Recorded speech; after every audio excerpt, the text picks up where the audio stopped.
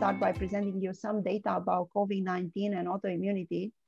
The reason is that a lot of um, primary care physicians, they reach out to me to ask questions about um, autoimmunity in COVID, but also they reach out to me to ask me about uh, vaccine, the COVID vaccine.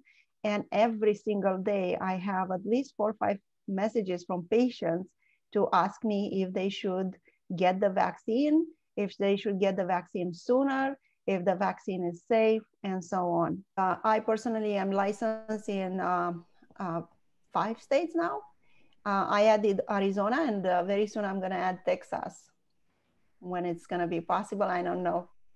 So let's start talking a little bit about uh, COVID 19 and autoimmunity, since this is something new to all of us you all know that initially uh, patients will uh, present in their early stage, usually with mild symptoms, uh, fever, dry cough, and a lot of other weird symptoms like uh, they lost their uh, sense of um, smell or their taste.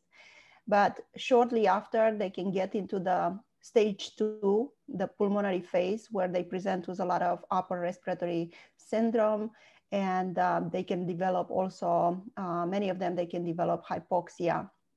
And on their imaging studies, you can see a lot of the uh, changes of uh, interstitial pneumonitis, but they can also present with other changes like transaminitis. Um, and uh, if you know patients have other risk factors, Unfortunately, some of them, they do progress towards the stage three, which is the hyperinflammation phase, the most severe phase where uh, many of them, they develop ARDS, um, they can get into shock, cardiac failure, multi-organ, uh, multi-organ failure.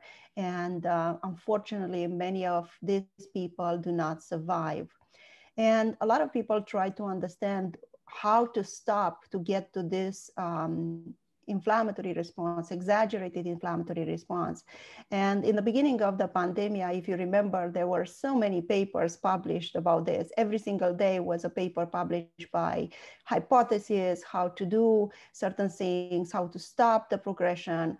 And they thought that this hyperinflammatory syndrome, it's actually caused by a molecular mimicry of one of the protein of this virus causing autoantibody formation. And if you look at this uh, image, uh, once the virus gets into the um, alveoli, it's going to produce a lot of inflammation. So it's going to send a lot of signals towards all the uh, cells of our immune system, from dendritic cells to monocytes to macrophages. And then those things will come along and they will start producing a lot of pro-inflammatory cytokines, which will produce what we call the cytokine storm. And this is what's happening in that hyperinflammatory state. And at that point, the patient will develop symptoms of ARDS, but many of them, they will progress towards multi-organ failure. And as I said, sometimes they will die. Now, on top of that, uh, they've seen that COVID patients um, do present with some symptoms or some, some signs of autoimmunity, and they reported um, some cases of ITP. They reported uh, cases of Guillain-Barré and um, um, variant of Guillain-Barré like Miller-Fisher syndrome. And all of these were case reports, were not like studies on, on people with uh, COVID, but they wanted to make people aware about the possibility. Unfortunately, COVID affected kids as well. And uh, although initially they talk about the fact that kids are not affected, some of these kids, especially uh, those cases come from Northern Italy, uh, middle-aged kids develop what we know to be the Kawasaki disease, which is a systemic vasculitis, but it's very severe because it can cause coronary aneurysm. They treated these patients with IVIG and anakinra, and some responded, but some did not what was very interesting about COVID-19 is the fact that um, a lot of these patients started to, to develop thrombosis and they've noticed that antiphospholipid uh, antibodies uh, or syndrome was more present in uh, COVID-19 patients. So they basically started to anticoagulate a lot of these uh, patients.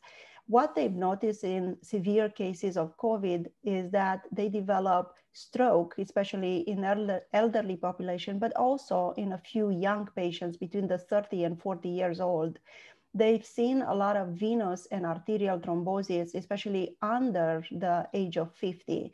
And sometimes they had patients with catastrophic uh, APS, which is a very severe and basically um, life threatening condition that will cause multi organ thrombotic damage in many patients of the ICU, and again, those uh, studies come from, um, from patients in China, they've seen that these patients, about 50 out of 59 patients in the ICU, they had antiphospholipid um, antibodies present. What is interesting that uh, patients were, that were pregnant or um, you know young female, they did not increase, although they had the APL antibodies, did not increase the risk for miscarriages. Now, in patients with pre-existing conditions like ours, autoimmune rheumatic diseases, we were very afraid because uh, our conditions will increase the risk for infections and will also be under treatment that will immunosuppress the patient. So initially, if you remember, uh, we talked a lot about the benefit of, or they talked a lot about the benefit of using Plaquenil or IL-6 inhibitor in an effort to immunomodulate their uh, immune system. But the studies that were done show that patients uh, that got got this infection, only 17% of those people were patients with lupus. So not much, much more. We would have expected more in patients with rheumatoid arthritis, but I think the studies were skewed based on the population that they studied what is very important to remember is that none of these studies had a very significant evidence that the fact that you carry an autoimmune rheumatic disease will increase your risk for this infection in particular, or, um, or the patients that were on biologics, where we fear the most, will have a worse outcome. So the fact that they had the disease or were on treatment, it doesn't seem to affect the outcome of these patients.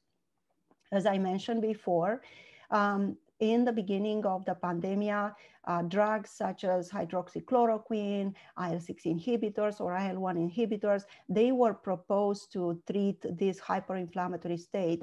However, although the studies in the beginning were very promising, when they look into larger population, especially here in United States, hydrochloroquine did not show a robust evidence to provide protection, but there is, there is some sort of, um, you know, tendency to decrease the severity. Of course, people uh, were afraid about the QT prolongation, but the studies that were done later on did not show that um, those cohorts that use hydrochloroquine had an increased cardiac risk.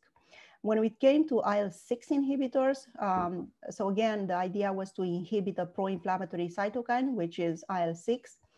At that point, um, you know, one study that we have uh, in China, not case reports, they saw that 15 out of those 20 patients that they receive um, IL-6 inhibitors, they had a decreased um, oxygen uh, requirement and also a shorter hospitalization in uh, those severe cases.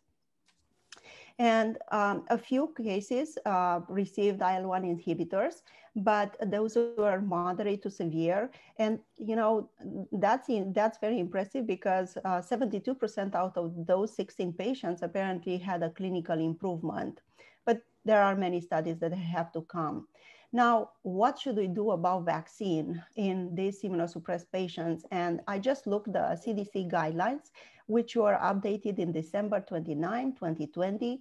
And they said that immunosuppressed patients might be at increased risk for severe COVID, okay? But the vaccine has the potential to help them and uh, maybe the vaccine will not be or might not be very, I mean, 100% protective um, because those people might not react, um, you know, as expected to the vaccine. They should receive the vaccine.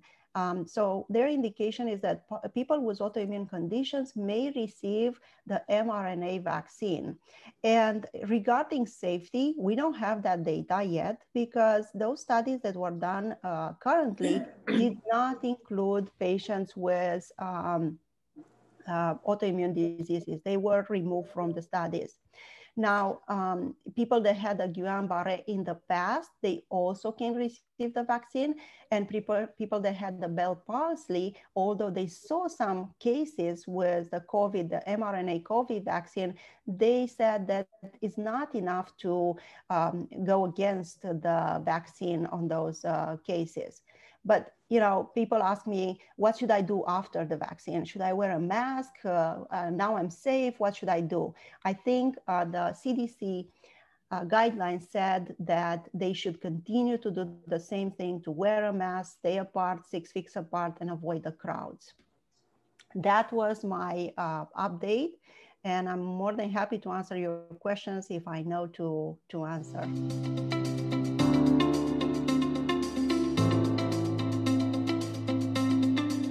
Audio Jungle.